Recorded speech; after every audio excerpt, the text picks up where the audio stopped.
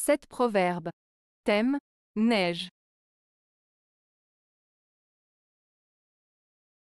1.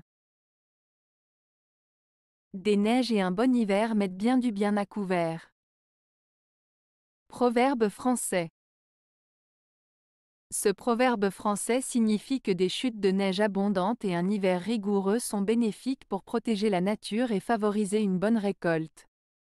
En d'autres termes, des conditions météorologiques extrêmes peuvent parfois être bénéfiques pour assurer la santé et la prospérité de la Terre et de ses habitants.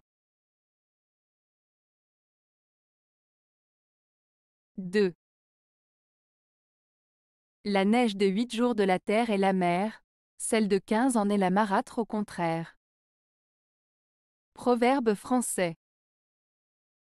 Ce proverbe français signifie que la neige qui tombe depuis 8 jours est bénéfique pour la terre car elle l'hydrate et favorise la croissance des plantes, alors que la neige qui reste plus longtemps, 15 jours par exemple, peut devenir néfaste en formant une couche épaisse qui étouffe les plantes et les cultures. En résumé, il met en avant l'idée que tout excès peut devenir nuisible, même quelque chose de bénéfique à la base. 3. La branche de saule ne rompt pas sous la neige. Proverbe japonais. Ce proverbe japonais, la branche de saule ne rompt pas sous la neige, signifie que les personnes ou les choses flexibles et adaptatives peuvent mieux résister aux épreuves et aux difficultés de la vie. Comme le saule qui plie sous le poids de la neige sans se casser, les individus souples et résilients peuvent surmonter les obstacles sans se briser. Cela met en avant la valeur de la flexibilité et de l'adaptabilité face aux défis et aux adversités. 4. Huit jours de neige c'est fumure, huit jours au-delà c'est poison. Proverbe avéronnais.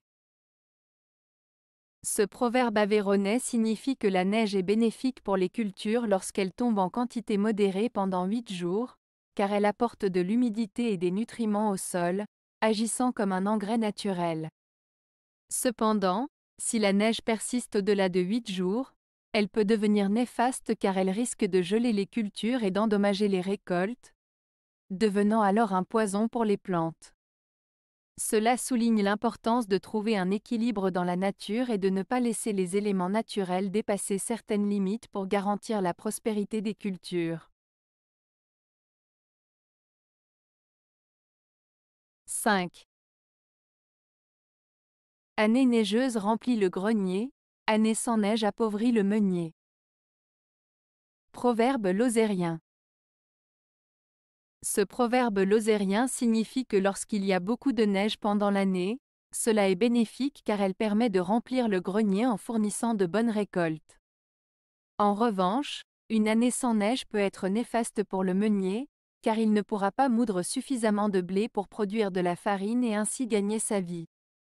Cela met en avant l'importance des conditions météorologiques sur les récoltes et les activités agricoles. 6. La neige à Noël vaut du fumier pour les seigles. Proverbe finistérien.